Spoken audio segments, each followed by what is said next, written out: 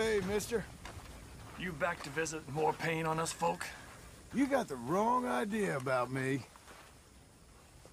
You'll see. I make friends wherever I go.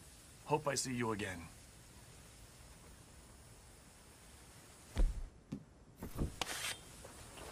Ugh.